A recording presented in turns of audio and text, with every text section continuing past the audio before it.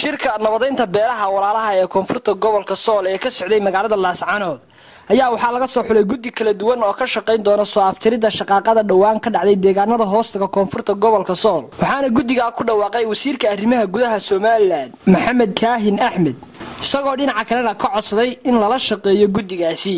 Kow marka ugu horeysa guddiga xakamka gartaa naqaysa ee idin wada hadal siinaysaan waxay ka koobnaanayaan shan culimo ah iyo shan iyo toban oday oo ka kooban degaanka ama beesha maxaanku dhahdayo dhulbahanta iyo fiqishin labada beelood ragga cuqaal iyo codkar iyo waayeel hawshaa uga qayb galaya iyagana tiradoodu waxay noqonaysaa min koob iyo labaatan qof.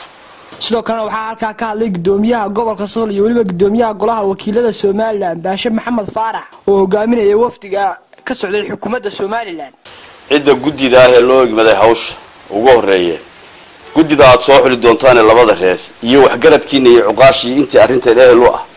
Muddada aynu hawshan ku jirna aynu hareeraha ka taaganay wakhtiga inaynu ilaashano. Xidhiirka dawladda iyo ama culimada ha noqoto dhowr qof baa jooga kullay maamulka gobolka ku jiro laakiin waktiga iyo isku xidhnaanta iyo kala horeyntu inay saacadii sidoodii noqon si aynu hawsha hareeraha uga taagnaano. Ajandaha waxaan uga bixi doonaa dabcan guddigii la xulay ee dhexdhexaadinta guddida labada reer labada beelood iyana magacyadooda laydinka rabo aan noqoni doono in meelihii la tago hadda laba meelood ciidan baa degan waxa weeye dhumay iyo dhumay iyo meesha la yidhaaho dabataag ciidankii waa joogaan. Amarna waxay ku haystaan waxa weeye inay ninkii ay arkaan wax gubaya inay qabtaan. Ninkii qori la soo galana ay qabtaan. Marka shirkuna waynoo xidhan yahay labadiina cuqaasha labada beeloodna waxaanu doonaynaa gobolka inaynu ku wada hadalna iswaateen taladiinana waanu qaadan haddii ilaaha yidhaaho. Guddiga cuqaasha iyo culimada dhexdhexaadka ahayd ee loo soo igmaday inay ka shaqeeyaan xasiloonida beelahaasi ayaa halkaasi ka hadlay. Marka insha allah magacyadoodaan sheegaynaa xaadir bay odhanayaan waad garan doontaan. Kow caaqil cabdirisaaq maxamed xasan faad sanyare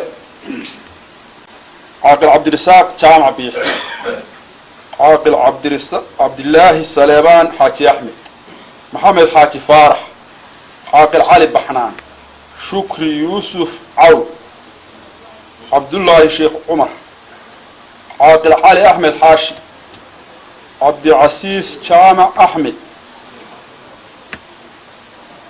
maxamed maxamuud cilmi aadan yare yuusuf maxamed oo aadan xuseen waa shan iyo tobankii haddaanan wax ka boodin intaas waa intaa sheekh cabdinaasir xaaji axmed doctor axmed jaamac ismaaciil mire sheekh axmed maxamed saleebaan sheekh axmed jaa axmed xaaji cumar iyo sheekh cali caydiid anigu waxaan leeyahay dhulka marka hore ciidama ha la geeyo marka dambe odayaasha ha la geeyo marka dambe hore dadka ha la shiriyo kii la arko inuu khalad wado ha la qabto.